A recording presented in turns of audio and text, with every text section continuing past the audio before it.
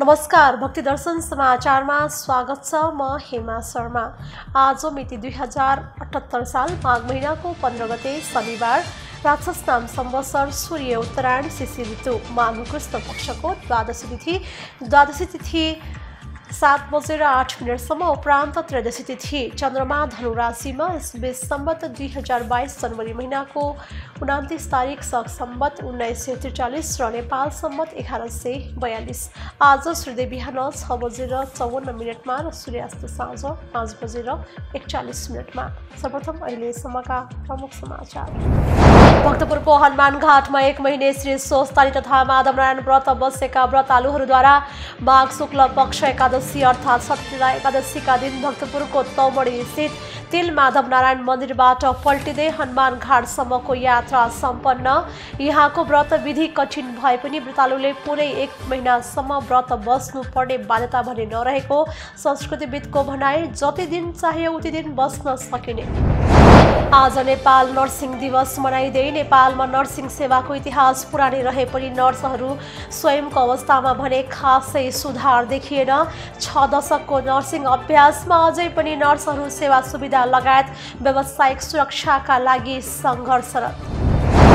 ऐतिहासिक धार्मिक र सांस्कृतिक महत्त्व बोकेको जनकपुर धामको रङ्गभूमि मैदान विगत केही वर्षदेखि संरक्षणको अभावमा कुरूप बन्दै प्राचीन ग्रन्थअनुसार जनकपुर धाम स्थित बाह्र बिघा मैदान अर्थात् रङ्गभूमि मैदानमा भगवान राम र सीताको विवाह भएको धार्मिक विश्वास प्रमुख सरोकारवाला निकाय बृहत्तर जनकपुर क्षेत्र विकास परिषदले यसको संरक्षण र सौन्दर्यीकरणतर्फ ध्यान नदिएको स्थानीयको गुनासो।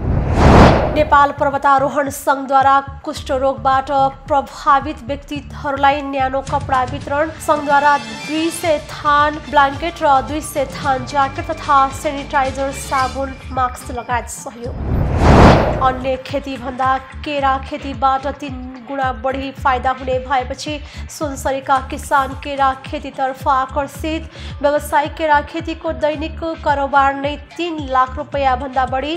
एक हजारभन्दा बढी किसानको करिब छ सय हेक्टर क्षेत्रफलमा केरा खेती। केरा पकेट तथा ब्लक कार्यक्रम सञ्चालन भएकाले थप केराको व्यावसायिक खेतीमा लाग्ने किसान बढ्दै।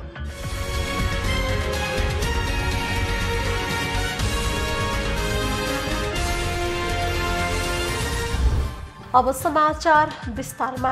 भक्तपुरको हनुमान घाटमा एक महिने श्री सोस्तानी तथा माधवनारायण व्रत बसेकाहरू। व्रतालुहरूले माघ शुक्ल पक्ष एकादशी अर्थात् सट्यला एकादशीका दिन भक्तपुरको तौमडी स्थित तिल माधव नारायण मन्दिरबाट पल्टिँदै पल्टिँदै हनुमान घाटसम्मको यात्रा गरेका छन्। भक्तपुरको हनुमान घाटमा पौष शुक्ल पूर्णिमादेखि माघ शुक्ल पूर्णिमासम्म एक महिना श्री सोस्तानी माधवनारायण व्रत बस्ने चलन छ। सनातन धर्मावलम्बीहरूले प्रत्येक वर्ष पौष शुक्ल पूर्णिमादेखि माघ शुक्ल पूर्णिमासम्म एक महिनासम्म हरेक दिन घर घरमा श्री स्वस्तानी कथा भन्ने तथा सुन्ने चलन पनि छ। श्री स्वस्तानीको व्रत बसेमा वा कथा श्रवण गरेमा पुण्य प्राप्त हुने तथा मनोकाङ्क्षा पुरा हुने धार्मिक विश्वास रहेको छ। पहिले भक्तपुरमै ब्रह्मायणी घाट हनुमान घाट र चुपिङ घाट गरी तीन ठाउँमा व्रत बस्ने चलन रहेकोमा अहिले हनुमान घाटमा मात्रै सीमित भएको छ। यहाँ व्रत बस्ने विधि अत्यन्तै कठिन रहेको बताइन्छ। यहाँ व्रत बस्ने व्रतालुलाई छुन नहुने व्रतको समयमा खाना खाने बेलामा कुनै कारणवश खानामा कपाल या कनिका आएमा व्रतालुले सो खान खान समेत नहुने माधवनारायण व्रत अवधिभर निरन्तर माधवनारायण भनेर जप गर्नुपर्ने नियम रहेको छ। यहाँको व्रत विधि कठिन भए पनि व्रतालुले पुरै एक महिनासम्म व्रत बस्नुपर्ने बाध्यता भने नरहेको संस्कृतविद बताउँछन्। आफूलाई कति दिन बस्न मनपर्छ पुरै एक महिना चौध दिन सात दिन या समापनको एकै दिन जति इच्छा भए उति दिन व्रत बस्न पाइने नियम छ। भक्तपुर हनुमान घाटमा बसिने माधवनारायणको व्रतमा यहाँका स्थानीय नेवारले मात्र उपस्थिति जनाउँदै आएका छन्। माधवनारायण व्रत कथाको प्रचार प्रसार राम्ररी गर्न सकेको खण्डमा यहाँ पनि व्रतालुको सङ्ख्या साली नदीको जस्तै वृद्धि हुन सक्ने संस्कृतिविदको भनाइ छ। आज नेपाल नर्सिङ दिवस मनाइँदैछ। नेपालमा नर्सिङ सेवाको इतिहास पुरानै रहे पनि नर्सहरू स्वयंको अवस्थामा भने खासै सुधार देखिएको छैन। जसका कारण छ दशकको नर्सिङ अभ्यासमा अझै पनि नर्सहरू सेवा सुविधा लगायत व्यावसायिक सुरक्षाका लागि सङ्घर्षरत रहेका छन्। विक्रमसम्म दुई हजार तेह्र सालमा नर्सिङ स्कुलको स्थापनासँगै नेपालमा यसको अध्ययन अध्यापन सुरु भएको हो। नर्सिङ कलेजको स्थापनासँगै यसप्रति अध्ययन गर्नेहरूको मोह मात्र बढेन सहर बजारमा थपिएको निजी अस्पतालहरूसँगै रोजगारीका अवसरहरू पनि सृजना भए। तर सेवारत नर्सहरूको अवस्थामा सुधार भने आएको पाइँदैन। अहिले चौहत्तर हजार आठ सय चालिसजना नर्सहरू आधिकारिक रूपमा नेपाल नर्सिङ काउन्सिलमा दर्ता भएका छन्। छ दशकभन्दा लामो इतिहास भए पनि नेपालमा नर्सहरूका समस्या भने पुरानै रहेका छन्। स्वास्थ्य जस्तो संवेदनशील क्षेत्रमा काम गर्नुपर्ने तथा चौबिसै घन्टा बिरामीहरूको सेवा सुसारमा बिताउनु पर्ने उनीहरूको सेवा सुविधामा भने सम्बन्धित निकायहरू सचेत भएको पाइँदैन। अस्पतालहरूमा स्वयंसेवा गर्नुपर्ने तलब भत्ताको कमी नर्स पेसेन्ट रेसियो लागू नहुनु नर्सहरूको पुरानै समस्या हो। सेवा सुविधासँगै व्यावसायिकताका लागि नर्सहरूको सङ्घर्ष भने जारी रहेको छ। देशमा रोजगारीको उचित अवसर सृजना नहुनुले नर्सहरू विदेशिने क्रम पनि बढ्दो रहेको छ। वर्तमान परिप्रेक्ष्यमा भने नर्सहरूको महत्त्व अनि विकास क्रमिक रूपमा भइरहेको पाउन सकिन्छ। ऐतिहासिक धार्मिक र सांस्कृतिक महत्त्व बोकेको जनकपुर धामको रङ्गभूमि मैदान विगत केही वर्षदेखि संरक्षणको अभावमा कुरूप बन्दै गएको छ।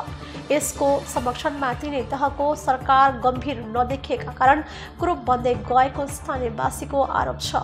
प्राचीन ग्रन्थ अनुसार जनकपुर धाम स्थित बाह्र बिघा मैदान अर्थात् रङ्गभूमि मैदानमा भगवान राम र सीताको विवाह भएको मानिन्छ।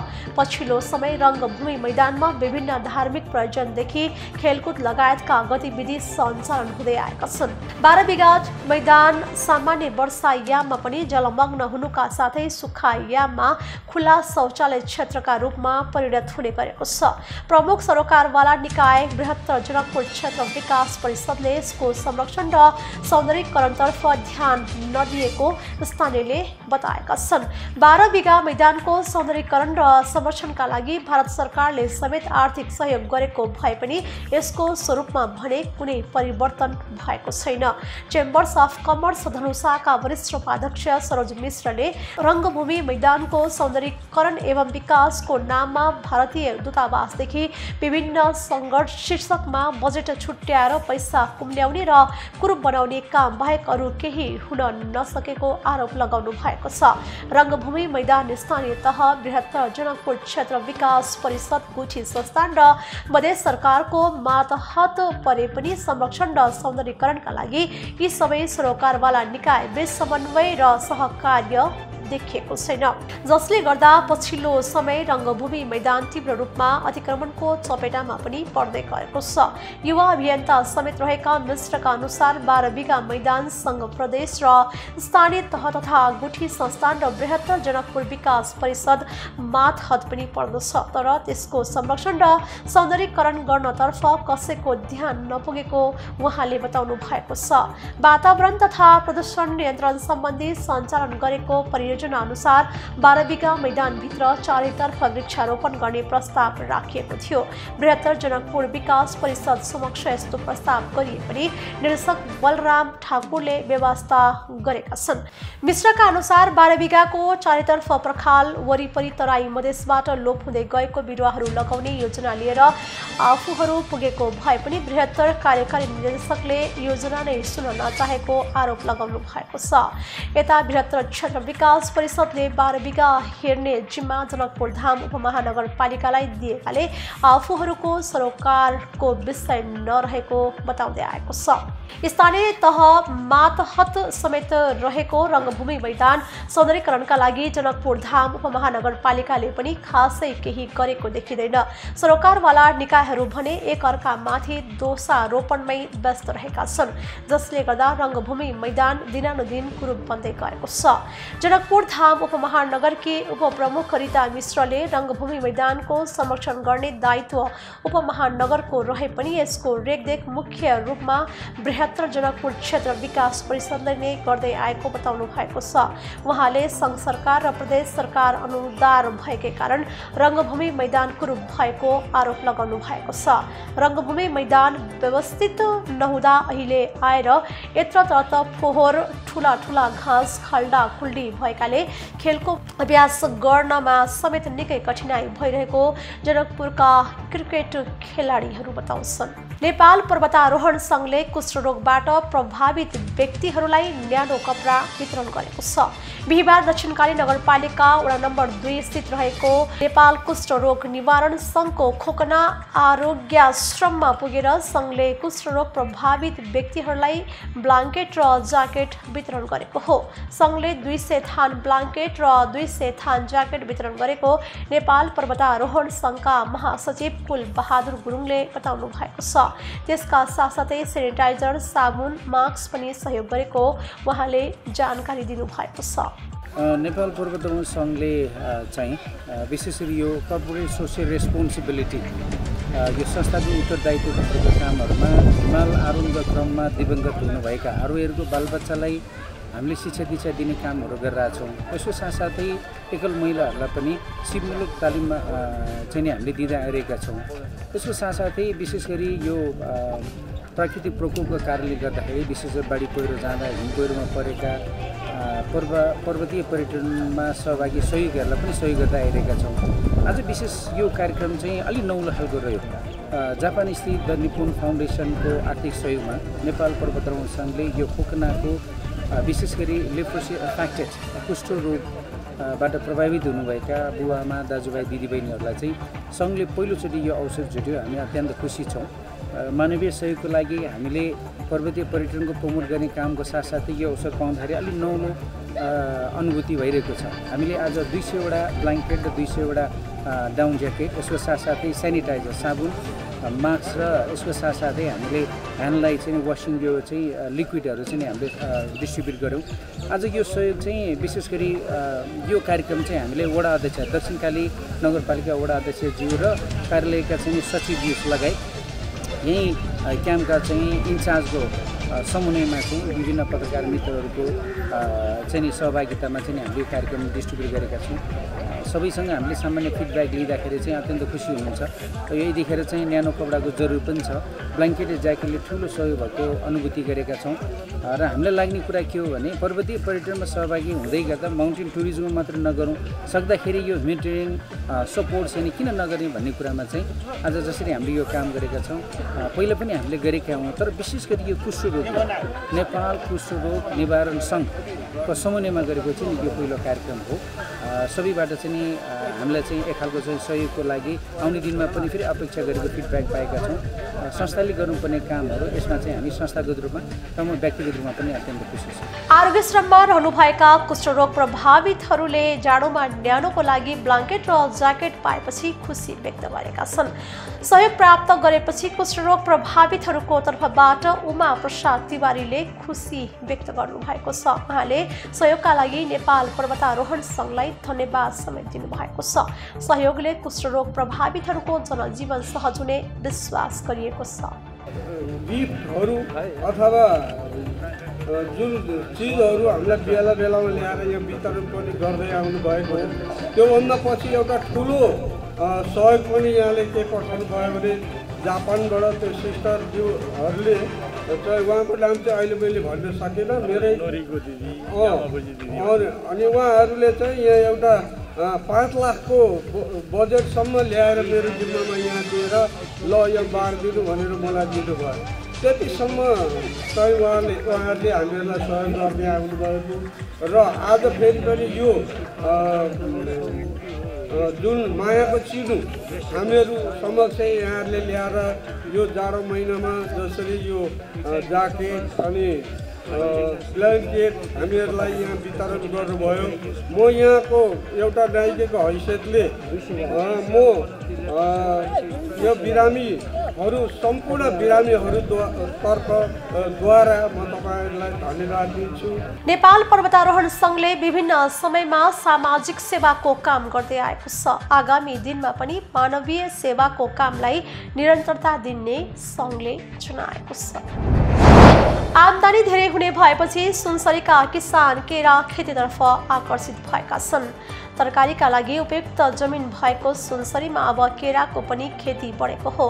सुनसरीको इनरुवा नगरपालिका नौ बबियामा मात्रै पचासभन्दा बढी किसानले केराको व्यावसायिक खेती थालेका छन्। इनरुवाका किसानले सुरु गरेको व्यावसायिक केरा खेतीको दैनिक कारोबार नै तिन लाख रुपियाँ भन्दा बढीको हुने गरेको बताइएको छ। सुनसरीमा केही वर्ष यता व्यावसायिक केरा खेती फस्टाइरहेको कृषि ज्ञान केन्द्र सुनसरीले जनाएको छ। अन्य खेतीबाट भन्दा केरा खेतीबाट तिन गुणा बढी फाइदा हुने भएकाले यहाँका किसान केरा खेतीतर्फ आकर्षित भएको बबिया केरा पकेट क्षेत्र सञ्चालक समितिका अध्यक्ष हरि मेहताले उहाँले बताउनु भएको छ सुनसरीमा दस वर्ष अघिदेखि व्यावसायिक केरा खेती हुन थालेको किसान बताउँछन् यहाँ एक हजारभन्दा बढी किसानको करिब छ सय हेक्टर क्षेत्रफलमा केरा खेती हुँदै आएको र केरा पकेट तथा ब्लक कार्यक्रम सञ्चालन भएकाले थप केराको व्यावसायिक खेतीमा लाग्ने किसान बढेका छन् यहाँका किसानले पाँच कट्ठादेखि दस बिघासम्म केरा खेती गरेका छन् जिल्लाको इनरुवा भोक्राहा नरसिंह हरिनगर गढी देवागञ्ज गाउँपालिकामा धेरै किसान व्यावसायिक केरा खेती गरिरहेका छन्। केरा खेती अन्य खेतीभन्दा सजिलो र विषादीको प्रयोग पनि त्यति धेरै गर्नु नपर्ने कृषि ज्ञान केन्द्रका सूचना अधिकारी योगेन्द्र यादवले बताउनु भएको छ। केरा फलफुलका रूपमा र होटेल तथा रेस्टुराँमा पनि केराको विभिन्न परिकार बनाएर बिक्री गर्न थालेपछि केराको माग बढ्दै गएको किसानको भनाइ छ नगदे बालीका रूपमा रहेको केरा खेतीको विस्तार र हावाहुरीको जोखिममा रहेको केरा खेतीका लागि सरकारले विशेष कार्यक्रम ल्याउनु पर्ने किसानको भनाइ छ।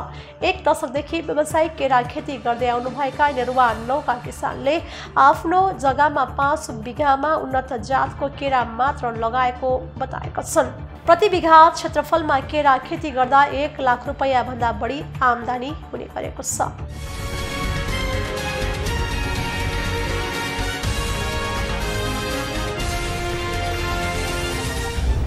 अहिले हामी भक्तिदर्शन समाचारको अन्त्यमा आइसकेका छौँ जाँदा जाँदै प्रमुख समाचार पुनः एकपटक भक्तपुरको हनुमान घाटमा एक महिने श्री स्वस्तानी तथा माधव नारायण व्रत बसेका व्रतालुहरूद्वारा माघ शुक्ल पक्ष एकादशी अर्थात् सठतिला एकादशीका दिन भक्तपुरको तौबडी स्थित तिल माधव नारायण मन्दिरबाट पल्टिँदै हनुमान घाटसम्मको यात्रा सम्पन्न।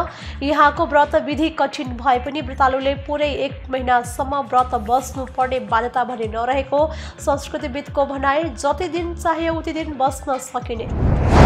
आज नेपाल नर्सिङ दिवस मनाइँदै नेपालमा नर्सिङ सेवाको इतिहास पुरानै रहे पनि नर्सहरू स्वयंको अवस्थामा भने खासै सुधार देखिएन। छ दशकको नर्सिङ अभ्यासमा अझै पनि नर्सहरू सेवा सुविधा लगायत व्यावसायिक सुरक्षाका लागि सङ्घर्षरत। ऐतिहासिक धार्मिक र सांस्कृतिक महत्त्व बोकेको जनकपुर धामको रङ्गभूमि मैदान विगत केही वर्षदेखि संरक्षणको अभावमा कुरूप बन्दै प्राचीन ग्रन्थअनुसार जनकपुर धाम स्थित बाह्र बिघा मैदान अर्थात् रङ्गभूमि मैदानमा भगवान राम र सीताको विवाह भएको धार्मिक विश्वास प्रमुख सरोकारवाला निकाय बृहत्तर जनकपुर क्षेत्र विकास परिषदले यसको संरक्षण र सौन्दर्यीकरणतर्फ ध्यान नदिएको स्थानीयको गुनासो। नेपाल पर्वतारोहण सङ्घद्वारा कुष्ठरोगबाट प्रभावित व्यक्तिहरूलाई न्यानो कपडा वितरण सङ्घद्वारा दुई सय थान ब्ल्याङ्केट र दुई सय थान ज्याकेट तथा सेनिटाइजर साबुन मास्क लगायत सहयोग। अन्य खेतीभन्दा केरा खेतीबाट तिन गुणा बढी फाइदा हुने भएपछि सुनसरीका किसान केरा खेतीतर्फ आकर्षित।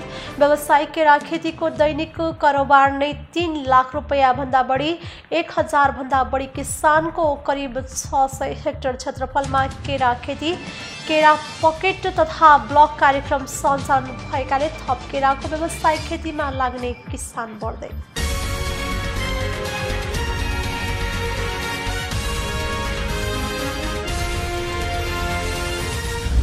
अहिलेलाई भक्तिदर्शन समाचार यति नै। सामाजिक सञ्जाल मार्फत हामीसँग जोडिनका लागि फेसबुक तथा ट्विटरमा लाइक तथा फलो गर्न सक्नुहुनेछ भने युट्युब मार्फत पनि हामीलाई प्रत्यक्ष हेर्न सक्नुहुनेछ। त्यस्तै कुनै सल्लाह सुझाव तथा प्रतिक्रिया भएमा Bhaktidarshan at the rate e mountain TV dot कममा हामीलाई पत्राचार गर्न सक्नुहुनेछ। धर्म संस्कृति र संस्कारको संवाहक भक्तिदर्शन टेलिभिजन एचडी हेर्दै नमस्कार।